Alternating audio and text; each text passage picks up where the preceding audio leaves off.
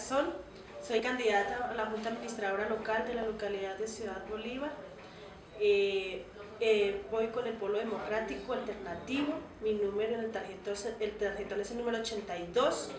Eh, me están apoyando el senador Jorge Enrique Robledo, el representante Iván Cepeda, Germán Navas y todos vamos a apoyar a Aurelio Suárez para la Alcaldía Mayor de Bogotá con fuerza. Yo soy fundadora del Polo y yo me siento muy contenta y muy orgullosa del Polo, de ser polista. Y en Ciudad Bolívar vemos muchos polistas y por más de que los medios de comunicación nos diga, digan que el polo está caído, que el polo es un corrupto. No, lo que pasa es que nosotros sí, el polo sí somos izquierda y nosotros sí no la estamos jugando. Sí, nosotros sí, y si algo que yo no estoy de acuerdo, y lo digo, que lo sepa todo el mundo, es que, por ejemplo, nosotros no tenemos acceso a los medios de comunicación. ¿sí? los, del polo no tenemos acceso a los medios de comunicación y, y, esa partecita sí sería bueno que nos la explicaran por qué no tenemos acceso a los medios de comunicación. O es porque nosotros efectivamente estamos haciendo las cosas bien, es por eso, porque los polistas estamos trabajando con, con honestidad y con transparencia. ¿sí?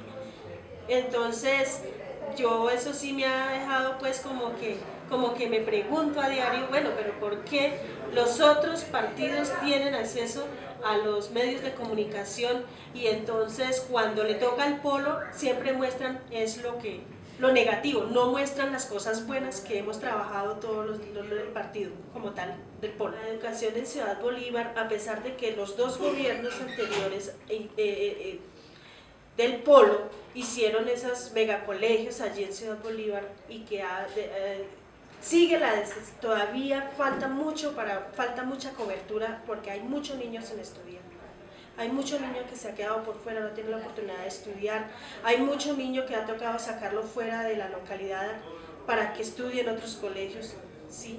y, la, y allí la, la localidad tiene, tiene, esos megacolegios tienen todavía mucho espacio para hacer más construcción ahí, en cada uno de ellos. Saben que en, Bogotá, a nivel distrital, en cada una de las localidades existe una casa de igualdad de oportunidades, ¿cierto? Que es donde nos centramos nosotras las mujeres, donde empezamos a discutir y a debatir nuestros derechos, que han sido muy vulnerables, muy, vulnerables por muchas por el maltrato, por la violencia intrafamiliar, por todo este tipo de cosas.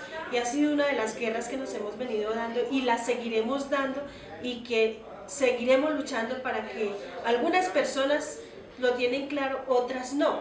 ¿sí? Y la idea es que todo a nivel mundial lo tengan claro y que no, dejemos de ser más maltratadas, que se acabe ese maltrato con las mujeres, ese, ese irrespeto con las mujeres y más oportunidades en, por ejemplo, y lo vimos ahora en, en, la, cuando iniciamos la consulta y cuando y sí, fuimos a armar las listas de los candidatos, nos dimos cuenta que a pesar de tanto que hemos luchado y que hemos venido reclamando nuestros derechos, hemos sido, todavía nos sentimos como que nosotras las mujeres no podemos administrar, como que no podemos ocupar un cargo público, como que sí, todavía eso se ve muy restringido. Los vendedores ambulantes, primero que todo, es un derecho fundamental del trabajo. Sí, es un derecho al trabajo, es fundamental.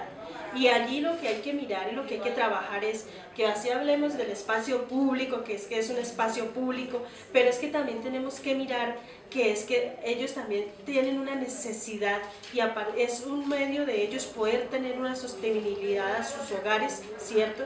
Y que aparte de eso está acreditado además, ¿sí? Aquí lo que tenemos que mirar es cómo organizarnos, porque ellos manejan, manejan ya sus sindicatos, manejan sus asociaciones como tales. Aquí lo que tenemos es que organizarnos para poder seguir trabajando. Yo no estoy de acuerdo con eso de los desalojos, de los vendedores ambulantes ni nada, y, me la, y la lucharé por defenderlos.